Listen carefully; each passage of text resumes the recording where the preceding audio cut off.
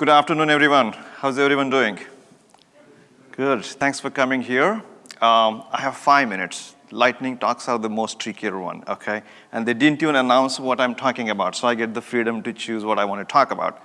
So how many of you really remember that you're at Cloud Foundry Summit and you're not at a Kubernetes Summit or some other place? It's hard to keep track, right? There is multi of everything, multi-language, multi-cloud, multi-environment. So what I'm gonna talk about in the next five minutes is this multi-star environment and what is the path forward? What is SAP's approach? I wanna share that with you openly. So if there are common interests, we can collaborate together. So we love Cloud Foundry. SAP has been part of the Cloud Foundry Foundation since its inception. We have lots of engineers contributing code, driving projects in Cloud Foundry. What do we love Cloud Foundry for? We love it for its simplicity, to have a platform for agile innovation. And we always start with multi-cloud. We do respect our customers' choice of having their applications wherever they want, on any public cloud. So multi-cloud is always our starting point. Then we got Cloud Foundry on top of it, not just technically enabled, but actually running on all these multi-clouds. So you can build an app, pick which cloud you want to deploy the app on it, and you got it you don't have to separately enter into a contract with that public IaaS provider.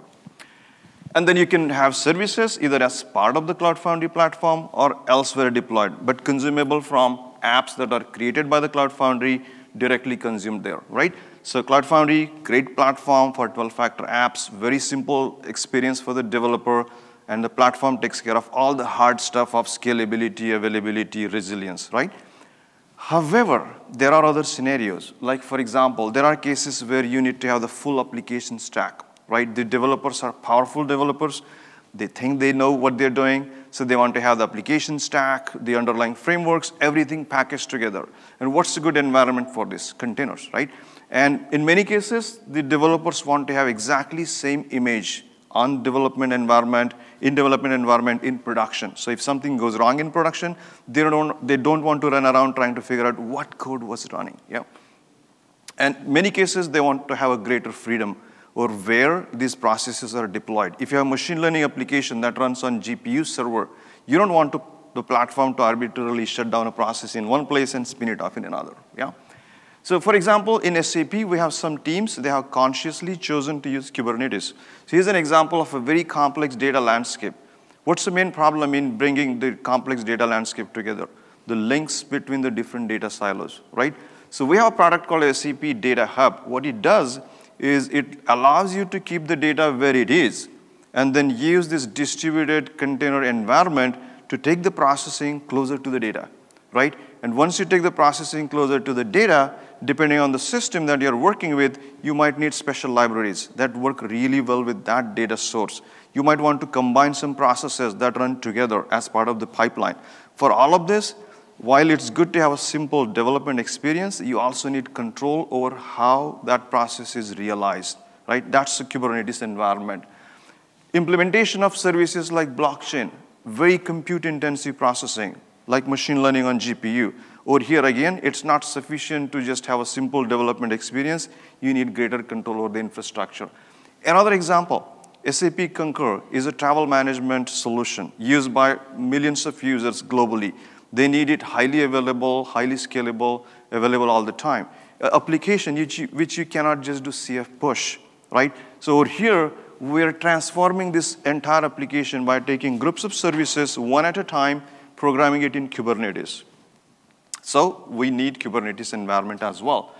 So we again start with multi-cloud, and then we build different services on top. We have something in the middle. We have an open source project called as Project Gardener, which, which I'll talk about in a minute. Using that, then we build services and apps, right? So this is the path forward. So, but while we support both Cloud Foundry and Kubernetes, we don't want to have these just as options that would confuse our customers and partners. We want to have a combined vision.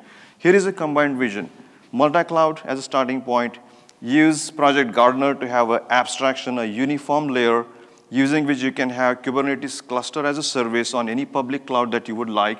On top, then you would have applications and services that are native to Kubernetes, as well as run Cloud Foundry itself as a workload on Kubernetes, so you can then have apps created by Cloud Foundry.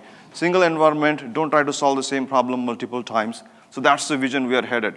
For this, we have launched Project Gardener, open source project. Check it out on GitHub today. The simple idea is this. Today, if you have a Kubernetes cluster, it has master node for control plane, worker node to run your worker work, uh, workload, right? Now, if you have multiples of these clusters, you got a lot of these clusters, each one having control plane and the actual workload, right? To maintain all of this homogeneously, it's a complex task from an administration operational perspective. So what we're doing is really simple. We're taking the control plane from the actual clusters running your workload, bringing it into a dedicated Kubernetes cluster, and the workload for this dedicated cluster is the control plane for rest of the clusters. Very simple idea. So we're using Kubernetes to bring availability and scalability of Kubernetes. So that's the idea over here. And in Cloud Foundry Foundation, we are part of a series of work streams to bring Cloud Foundry and Kubernetes stacks together. The first one utilizes services, publication, and cross-sharing, and lots of uh, engineering componentry instead of re reinventing the wheel in multiple places.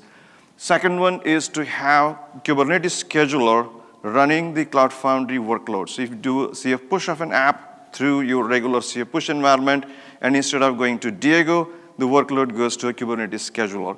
The last one is to actually containerize the entire control plane of Cloud Foundry and run it as a workload.